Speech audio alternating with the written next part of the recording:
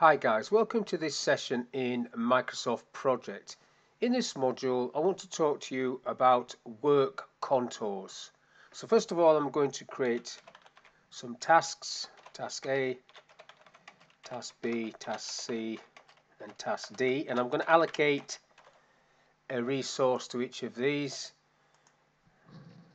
Bob, Bill, Ben and Anne and I'm going to make all of these 10 days 10 days in duration. Let's pull that one down.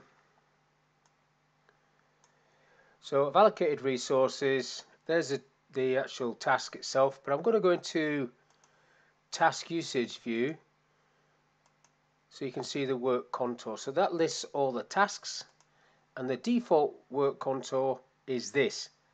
Flat it's called means eight hours is allocated per day for that each of these people. Now if I double click on Bob, where you see the work contour is here in assignment information, work contour flat. And then you can see the other preloaded ones there. Now at the moment this duration for task A is 10 days. If I apply a backloaded work contour, which means there's more work at the end of the project than there is at the beginning, watch what happens to that duration. I'll click OK.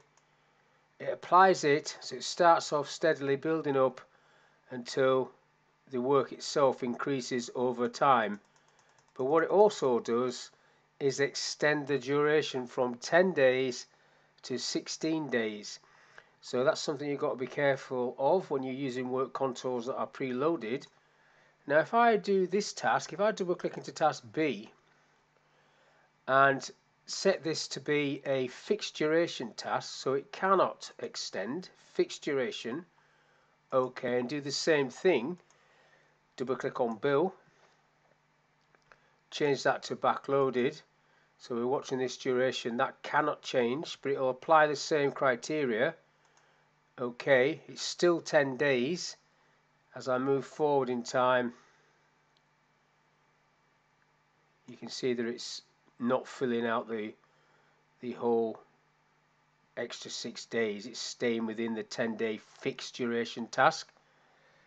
Now the problem you've got is that the actual hours allocated has dropped let's say 80 to 48 so we've now got less hours allocated but that might be okay Another way of doing this is on Ben's line, if I just come back across, you might want to manually set this rather than doing one of these preloaded work contours.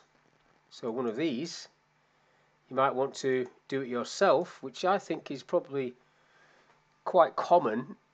The, these ones that are preloaded are, are for projects that maybe are quite a long projects and you've got no idea how long the time will be, but you want to put some sort of methodology on it. So looking forward, you can use the work contours. Now this one, I might just say, okay, we're going to start off with four hours, four hours on this one. Get on the right one. Four, put that back to eight. So just four, then it might do nothing, nothing.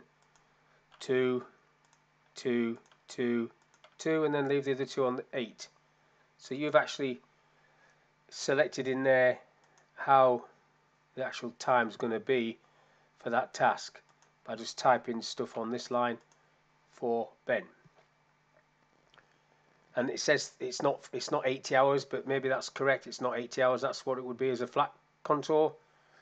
This one is reduced to 48 because we tailored it.